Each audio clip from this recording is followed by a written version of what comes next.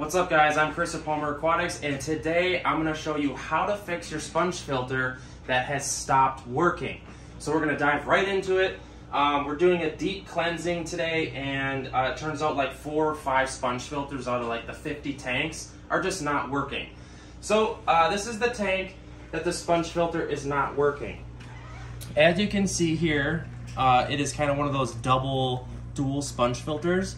And what's happening is there's just nothing coming out of it. So there is a tiny bit, but that's the same as just not working essentially because we want decent flow on these sponge filters because that's how you know water is going through the sponges. That's our filter system. So what I usually do is you always start from the very top of the list, your air source. So what I always do is I take out the sponge filter and I disconnect it. And this one connects at the bottom. So then, just to make sure, I always check to see if the air source is working, which it is. So that leads me to believe that something is wrong with the filter unit itself. So then what I do here is I break down the neck. With these, you can take them apart and the issue, what I, what I then what I do is I plug just this in to see if this works. So this is not working or it's barely working. So something is wrong in between here and the tube itself.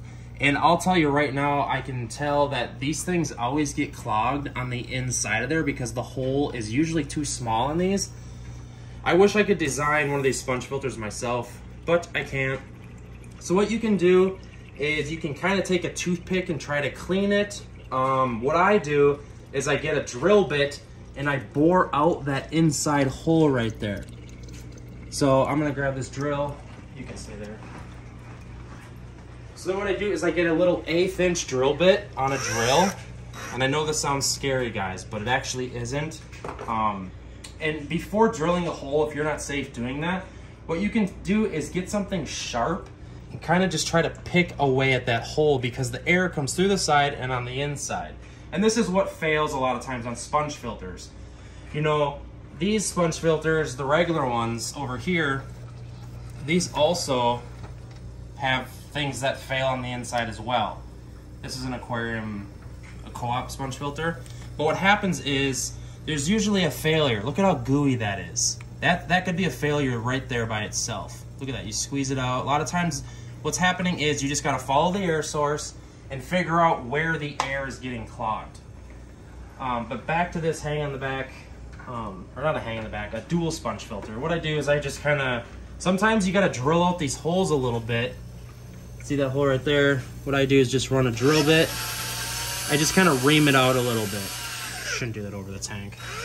That's a little idiotic, but and then uh, and then I rinse it through the sink.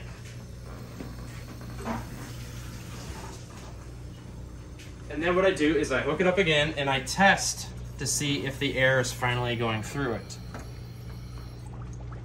See, we're back to business. That was the issue. So literally just work your way down from the air source and just figure out where the clog is. It's all you can do. If you have a lot of tanks, fixing sponge filters becomes a nightmare, but it's just part, it's the nature of the beast of this job. But yeah, different sponge filters have different designs. Um, this is my method on how to fix a sponge filter that's not working. Um, another issue you could have is a weak air pump. Um, and all I can tell you to do with that is just buy a bigger air pump. A lot of times you can read in the description how much air they put out per outlet. I'm not going to geek out on that though. All right, guys. Um, let me know in the comment section if this helped you fix your sponge filter that's not working. Uh, without further ado, I'll see you in the next one.